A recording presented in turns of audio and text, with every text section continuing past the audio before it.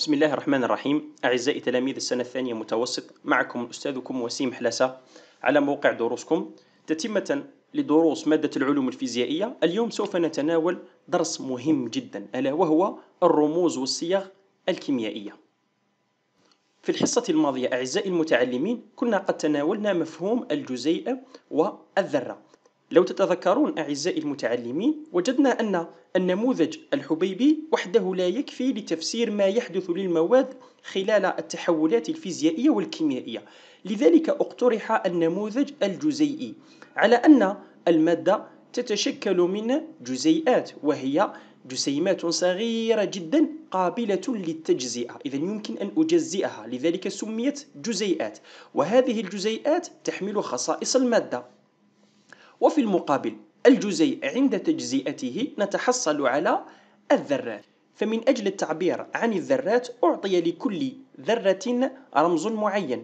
والرمز ببساطة هو عبارة عن حرف أو حرفين. لاحظ معي جيدا عزيزي المتعلم مثلا ذرة الهيدروجين. إذا هنا نحن نتكلم عن الذرة وليس الجزيء. نحن نتكلم على تلك أو ذلك العنصر الصغير جدا الذي يشكل الجزيء. مثلا ذرة الهيدروجين رمزها H majuscule وهنا ركز معي جيدا بالنسبة للهيدروجين H majuscule لاحظ معي جيدا أيضا الهيليوم. الهيليوم هي ذرة رمزها H majuscule أمامها E minuscule الكربون C majuscule الأزوت N majuscule الأكسجين O majuscule الفليور F majuscule وهكذا. مثلا نأخذ على سبيل المثال الصوديوم.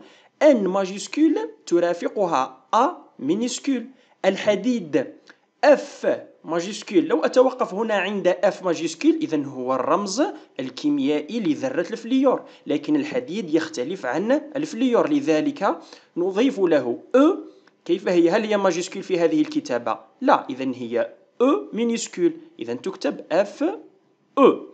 النحاس C majuscule لو أترك C C هو رمز الكربون إذا حجزه الكربون. إذا نضيف له U minuscule فيصبح هذا الرمز الكيميائي لذرة النحاس وهكذا. إذا هنا قد يتبادر بذهنك لماذا هذه الحروف وعلى أي أساس اختيرت لكل ذرة؟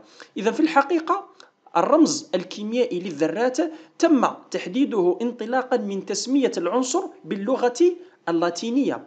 لاحظ جيدا مثلا بالنسبة للكربون. باللغة العربية يكتب بهذه الطريقة. باللغة الفرنسية كربون. لاحظ جيدا. بالإنجليزية كربون.